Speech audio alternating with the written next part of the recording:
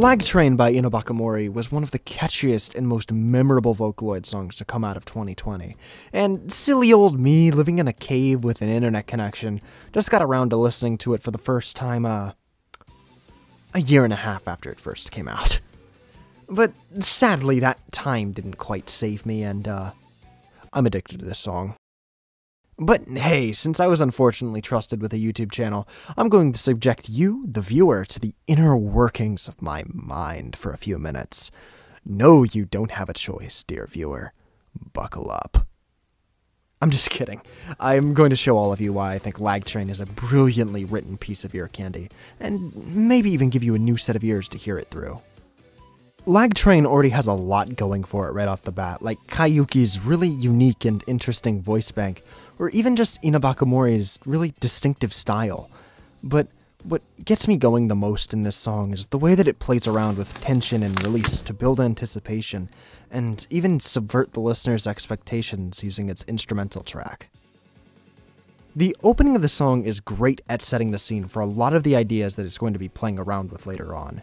It uses a sparing amount of instruments to start off, and even complete silence under the vocals just before the song picks up in the second half of the intro chorus. This makes the full instrumentation hit so much harder than it would have otherwise, just because of the way it drops. Whoa! This use of tension and release can be heard all over the song. It'll often linger on a single moment for just a second, and the anticipation the listener feels begins to skyrocket. The instrumental comes right back to satisfy that anticipation, and the next thing you know, you're just swept up in the song.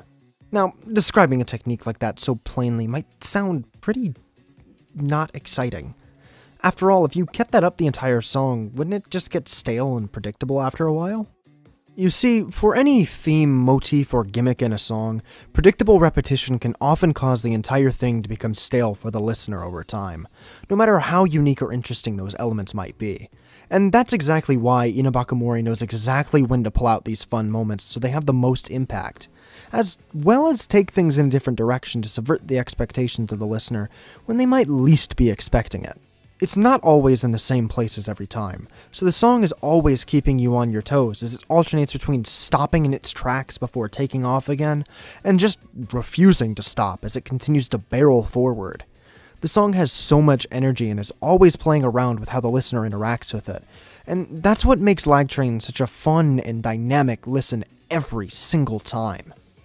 My favorite moment in the song is right here in the last chorus, specifically because of how it subtly subverts your expectations for a huge payoff. Just like in plenty of other songs from around the world, Lag Train has a final chorus that brings in additional elements to push it even further beyond previous renditions of the chorus ultimately ending in a solid climax by simply transforming mostly familiar material and bringing it to new heights for the listener. You see all kinds of things done in final choruses to give it that extra little bit of oomph, that kick, that spicy goodness like a boss. I'm talking about things like key changes, the introduction of new elements to the instrumental, and additional voice tracks, or basically whatever will get the listener's heart pumping, foot thumping, and their Ooh, am I allowed to say that? Uh, I don't like that. Ugh. Oh, no, no, no, no, no. You can hear just how much the difference in approach changes the feeling of Lag Train's chorus when comparing the different renditions from throughout the song. For example, you've got the usual push and pull dynamic using relative silence in the second chorus. You can hear how Inabakumori takes his foot off the gas for a second between the two sections, just before going right back into it, giving the transition that extra little jolt for the listener.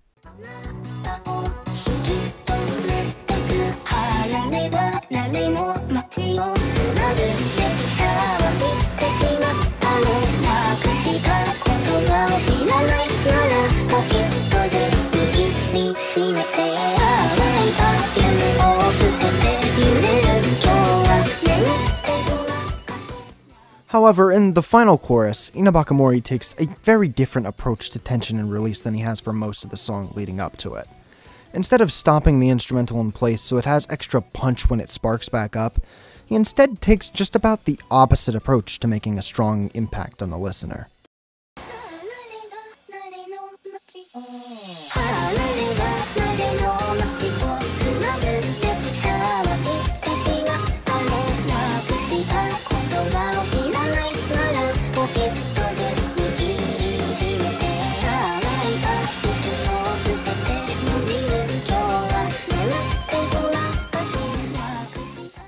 I know I kind of spelled it out with like the red light, green light stuff, but does the difference jump out to you just by hearing it? Instead of a pause, the transition between the two halves of the chorus is actually a swell. Now, to keep this kindergarten metaphor going, Inabakumori straight up ran the red light! At this point in the song, we are already riding high off of a key change, and instead of letting any of that extra momentum go, the guitar and drums double down on the intensity as they follow the vocals upwards and the tension starts to bubble.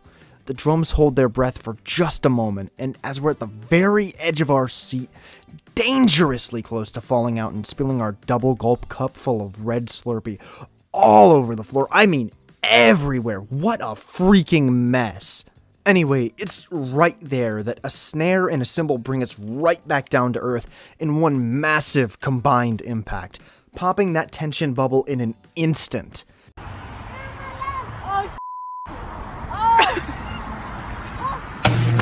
that right there is pure, unadulterated musical catharsis, and I can't help but fall in love with songs when they do stuff like that.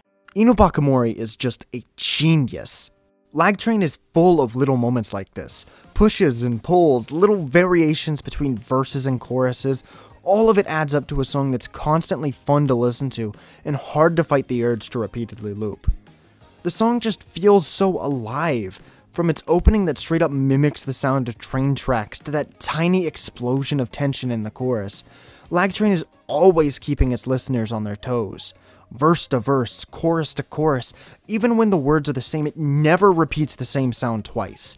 There is always something new to hear, some new twist, some minor flair, anything at all. Lag Train is more than just a song, it's an experience. The music, and I know I've said this a billion times already, pushes and pulls you all over, while its simple yet addictively rhythmic music video brings so much extra energy out of the song. So much so that even its depressing lyrics can't stop you from having a good time as you get swept away in the rhythm of a train going.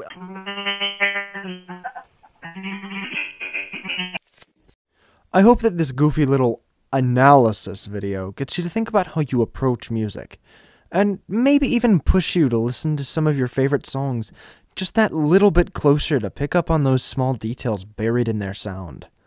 Seriously, give it a try. It's super rewarding to have those little aha moments. Anyways, music is pretty cool, so uh why don't you go listen to some music? Thank you for watching all the way through this admittedly pretty silly little video of mine. I originally started writing this with the intention of making a 60 second script, but I guess I just had a little bit too much to say about a 4 second part of a single song. But hey, what did you think of Lag Train? Does the song do anything special for you in a way that I didn't bring up here? And if you happen to enjoy our time together today, make sure to do all the YouTube stuff too while you're at it. I'm sure you know the drill by now. I'd love to see you around again, and maybe even hear from you in the comments if you're feeling brave enough. I promise I won't bite. More than once. Well, with that being said, thanks for watching. Hey, I'm sorry, bro. I'm lagging right now. I'm gonna have to. I, am gonna have to get my router fixed or something. How am I supposed to play a Among?